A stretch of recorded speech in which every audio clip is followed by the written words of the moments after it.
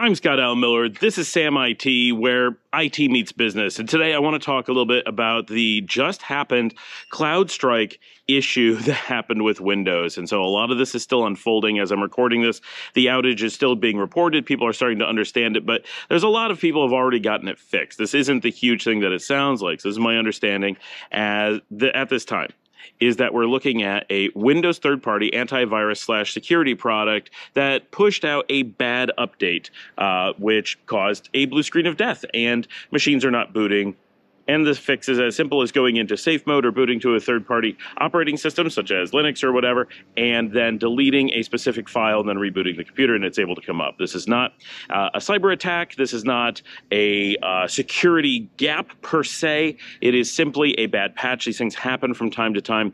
Uh, it is uh, essentially no chance, it seems, that there's anything malicious. We don't have reason to suspect that. You expect bad patches from time to time, especially if you violate a couple of important important rules.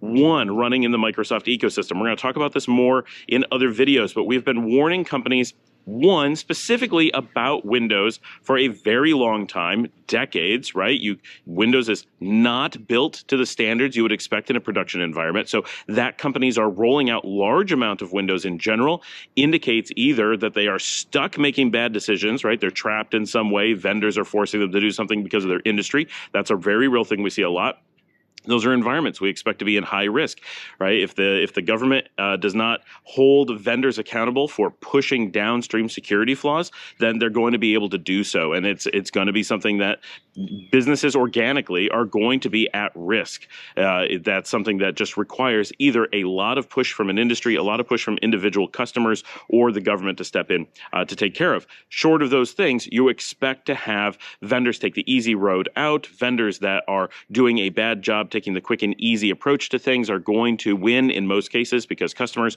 are not very good at making decisions about selecting vendors. They'll take the first one that meets their needs in most cases, the one with the flashiest advertising, not the one with security, not the one vetted by IT. And so because of that, they're going to be rewarded for doing a bad job. And so when customers do that, those vendors take over industries, and those that are doing a good job rarely get a chance to bubble to the top. So those are things that just happen organically, and unless there's some push against it, we expect it to happen. So that's why we see a lot of Windows in a lot of places, but also we see a lot of Windows because companies just don't do their due diligence. They accept the default choice. Someone goes and buys a laptop when they're starting the company they never think of asking IT for a strategy. They make the decision to go to Windows before they make the decision of engaging IT, and then the rest is history. And that could have been 30 years ago, and now the company is stuck with that decision, and it's so entrenched, no one even thinks of questioning it, and IT is afraid to broach the subject because it would highlight decades of bad decision making if they even have IT that's capable of asking that question, because in many cases they've hired people based on the bad decisions they already made, and so they're there to reinforce them, they're there based on them, rather than them being being there to question them. So that's the first thing. Second thing, we have a situation where people are replacing the built in Microsoft antivirus. So inherently, we're talking about people who deployed a product they don't trust and are replacing a very well vetted, very well ranked internal product with a third party one. That's not to say that CrowdStrike is bad, but it is a category of products we generally warn about. You need to be really careful when putting third party antivirus onto Windows. If you feel you need to do that, one, you have absolutely flagged that you don't trust the product you're on. Why did you deploy something you inherently didn't trust? We're not talking about adding an extra layer of security. We're talking about replacing the security that's part of it because Windows Defender is built in and is generally ranked as the best in the business or tied with the best in the business. I understand that CrowdStrike offers some additional capabilities, but why do you need those additional capabilities? Why do you need them in that space? That's probably problematic on its own. And additionally, uh, you're disabling the very, very, very good security that, that is already there of all the things in the Microsoft ecosystem. Defender is one of their strong points, both because of how well they build the product, but also because of its integration and reliability and testing. So, for those reasons, replacing it with a third party is incredibly dangerous. So, companies that are potentially impacted here have already made those two issues and problems. And then the third problem here is that in a spot where you have security concerns, now I realize a lot of companies are affected here, some have no security concerns whatsoever. But when we're talking about places that have paid for CrowdStrike, we're talking about people who are shelling out a lot of money, presumably because they're willing to pay a fortune because they deployed Windows that they don't trust. Now they're in a situation where they want to spend a lot of money to feel like they're securing Windows even though it itself is not very secure, right? This is a, a completely crazy pl- mental place to be, to be deploying Windows in a scenario where you want to be secure. That fundamentally doesn't make sense. And we just had that news. We're going to do another video on that soon. But that is something that there's no one working in IT who can plausibly, and, and at this point in government, in business, it is so well known that Windows is not secure. It has never been secure. It was never built around security. That was never part of its DNA, never intended to be that way. Not to say that it's horribly flawed, it's just security is not a focus. When security is important to you, Windows would never enter the conversation. By allowing Windows into that discussion, you have stated absolutely black and white security is not job one, probably not job two, unlikely to be job three. It's just not a priority. Period. End of story. There's no arguing with that. Absolutely none. That would be a completely ridiculous argument to make. There's nothing wrong with deploying Windows. Lots of places you want to have it, not in places where you need security. Having something like CloudStrike, which is not cheap, which is not easy, which has a lot of risks, on top of Windows means you're in a weird scenario where you have this security doesn't matter, but you're willing to spend a whole lot on trying to secure what you didn't care about being secure in the first place. That's not a great place to be. So you're talking about customers who are in this really unhealthy space. Maybe they were coerced into using Windows. Maybe you have one division that forced it and another division that's like, yeah, but we need to be secure. How do we uh, try to have some semblance of security in a fundamentally insecure role? Like that, that can be where that is. So this is a sign that you have unhealthy companies with IT that probably doesn't have necessary decision making to get to security points. And then point three, all these products are closed source. So patches cannot be vetted and verified by the public. With Windows, we already know we had major admissions by, by Microsoft that security was not a important thing to them, that they put the country at risk. That was very recent. And we, we things that IT has always known, things that business have always known, nobody can claim that Microsoft's admission of this is where they learned about it. That is absolutely implausible. So that we know that Windows is very insecure. CloudStrike being on top of it with patching, you have this multi-layer patch risk that you have to deal with. We've always known that Microsoft patching is very risky. Uh, you've heard, if you've ever heard of people talking about how they hold off on patching, hold off on updates, that is unique to the Microsoft ecosystem. That is unique to a place where security is so unimportant, where stability is so unimportant that people don't trust the vendor with its own patching anymore, which is really significant. That CloudStrike then is on top of that, does its own patching, and that all of this is closed source is additional problems, right? If you're in the Linux ecosystem, as an example, you have open source processes. You have maybe your company is not going to do it, but big companies are going through these products and vetting patches before they roll out. So they have eyeballs on it. Yep, there can still be mistakes. Yes, there still are mistakes, but the number of mistakes and the uh, speed at which they are rectified is completely different. It is a fraction of the number of errors, even though with a much larger install base and a much larger sprawl of code. And uh, with third party, if you also have that Open source, yes, something that's a very, very niche third party could be problematic that there just aren't enough vendors vetting it. But something like CloudStrike, if that was open source, you would have hundreds or thousands of major vendors that are, are customers that are looking at the source and doing their own patch testing to be sure before they roll it out. But because all this is closed source and the way that the Microsoft ecosystem tends to work, the nature of being in a scenario where you have chosen to run closed source, not well vetted software as the core of your business or an important part of your business, simply indicates that you're not going to have that due diligence for other closed source third party patching as well. So we have this issue where the customers who are affected by this really are in a spot where, again, just like with other things we said, generally when you're impacted by this kind of stuff, it's because decisions were made that you were okay with this. You were willing to take on these risks. Now, this is a major one, but mostly it's major because it's impacting so many companies all at once. And all those companies are in basically the same position where their IT didn't have strong enough decision to protect the company. Company felt like they still needed security and they just chose these these specific products and put themselves in this specific type of risk.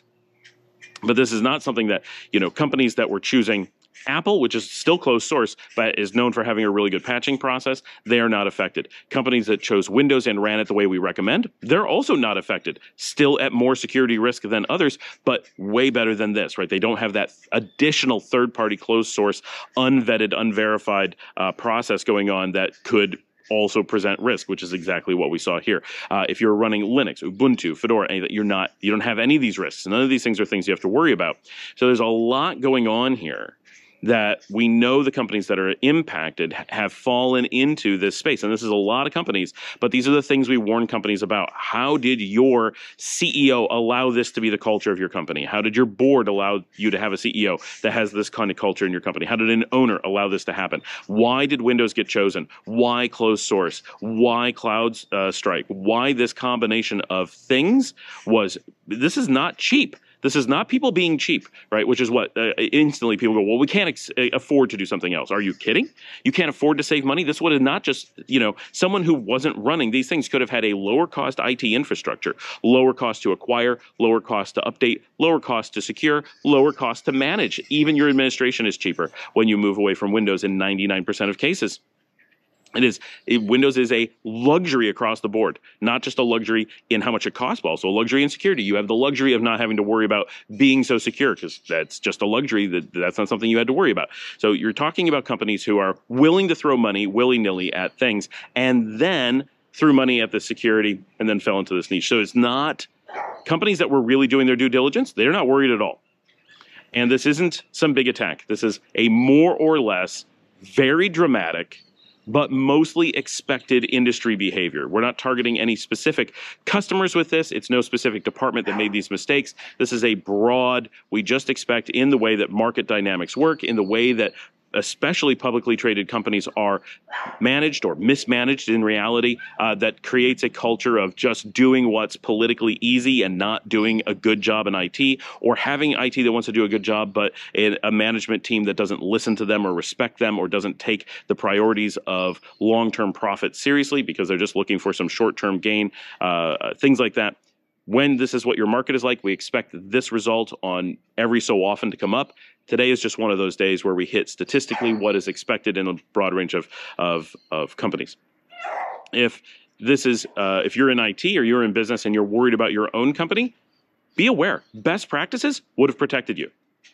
And not just all of them, any one of them, any of running open source when security matters, not running Windows when security matters, just making good choices, vetting your uh, your decision making. Right?